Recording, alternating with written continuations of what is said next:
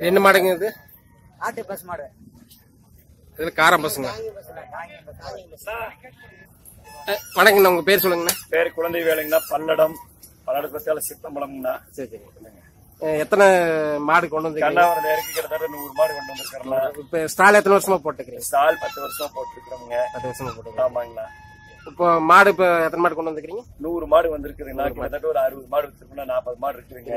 இந்த வருஷம் சேல்ஸ் என்ன காரணம்னா எலெக்ஷன் நேரம் இந்த பணம் முடிக்கிறதுனால சேல்ஸ் வியாபாரம் கம்மியா இருக்கு. பணம் கவர்மெண்ட்னால இந்த வருஷம் கண்ணாவரம் தேர் ஒரு கம்மியாகி போச்சு. வியாபாரங்க. ஒரு மாடு என்ன ரேட்டுக்கு கொடுக்குறீங்க? ஒரு மாடு வந்து கீழ் விலை ஐம்பதாயிரத்துல இருந்துன்னா மேல் விலை ஒரு லட்சத்தி தொண்ணூறாயிரம் வரைக்கும் மாடு கொடுக்குறீங்க. ம- மாடு வந்து கரம் மாடு க- எல்லா காளை. கறவை மாடு கிடாரி கண்ணு இருபத்தி ஐயாயிரம் ரூபாயில கிடாரி கண்ணு மூணு விலை இருபத்தி ஐயாயிரம் காலக்கண்ணு பதினஞ்சாயிரம். இப்படி எல்லா மாடு இந்த விலையில அப்படி போயிட்டு இருக்கு மத்த டைம்ல வந்து உங்களுக்கு நீங்களும் எங்க சேல் பண்றீங்க? நான் வீட்லயே இருக்கு மத்த எப்பவுமே வீட்டுல ஒரு ஐம்பது மாடு நின்றுட்டே இருக்கீங்க சரி, சரி. பண்றதுக்கு எப்பவுமே நின்றுட்டு எப்பவுமே இருக்கும் உங்க செல் நம்பர் அப்படியே சொல்லுங்க. Nine eight four double டூங்க. Five double zero six eight. Triple nine double four seven four nine six எயிட்டுங்க. மத்த டைம்ல நீங்க எப்ப கான்டாக்ட் பண்ணிட்டு எப்ப கனெக்ட் பண்ணாலும் வந்து வாங்கிக்கலாம். இந்த மாதிரி இந்த மாடல்ல எவ்வளவு லிட்டர் பால் கறக்கும்? காங்கை நாட்டு மாடுங்கிறது ஒரு லிட்டர்ல இருந்து மூன்றரை லிட்டர் வரைக்கும் கறக்கு. அதான் மாடுங்க. அப்புறம் சொல்லுவாங்க ஆறு லிட்டர் கறக்க ஏழு லிட்டருக்கு மாடு கறக்காதுங்க சரி சரி.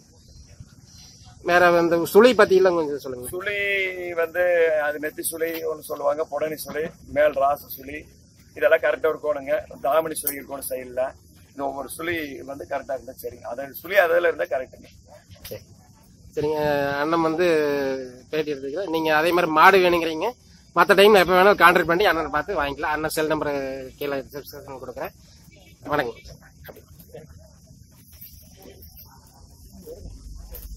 ஐயா நான் தொட்டிபாளையங்க வெள்ளோடு மாடு வாங்க வந்தேன் இந்த தேர்தல் கமிஷன் அயோக்கினா எனக்கு வந்து மாடு வாங்கி பணம்லாம் வச்சுப்போம் ஏங்க இப்ப நான் இந்த மாடுக்கார மாடு போய் பணம் போய் வழி போறாங்கிறாரு எப்படி அதனால இப்ப எலெக்ஷன் டைம்னால உங்களுக்கு வியாபாரம் நடக்கலைங்கிறீங்க. வியாபாரம் நடக்கல.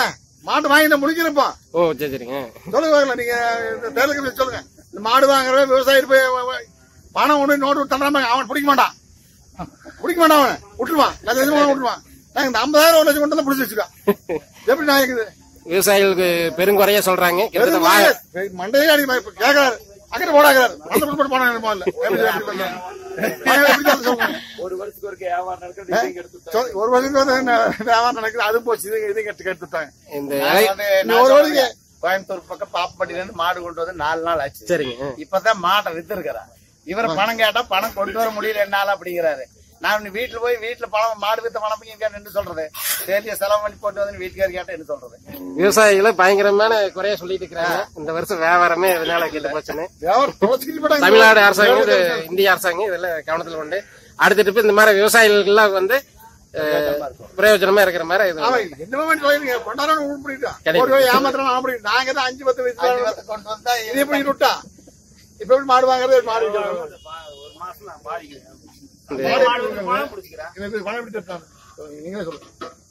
இந்த எலெக்ஷன்னால உங்களுக்கு வியாபாரம் பாதிக்கும்? வாங்க முடியல விற்க முடியல. எலெக்ஷன் நாள் இல்லைங்க அந்த பணத்தினால பணம் பிரச்சனை பணம் கொண்டு வர அது பாட்டு நடக்குது பணம் கொண்டு போறோம் பஸ்ல கொண்டு போறோம் அவன் கொண்டு பைக்ல கொண்டு போறான் கண்டக்டர் தெரியாது லக்கேஜ் மூட்டை கொண்டு போனா லக்கேஜ் வாங்கிக்கிறான் விட்டுறேன் அவன் ஐநூறு ரூபா லட்ச லட்சமா அடிக்கிறான் ஐநூறு ரூபாய் ஓட்டு அடிக்கிறான் அவன் எனக்கு பிடிச்சான் கொடுக்குறான் சரிங்கண்ணா ம- மக்கள் இது நிச்சயமா கருத்தில் கொள்ளுவாங்க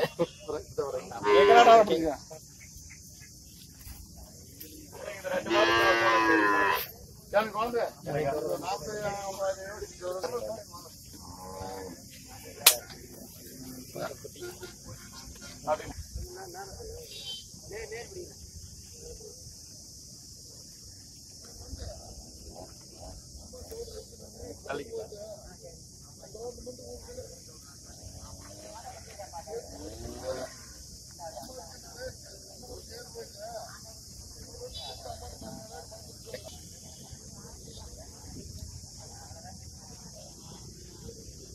எனக்கு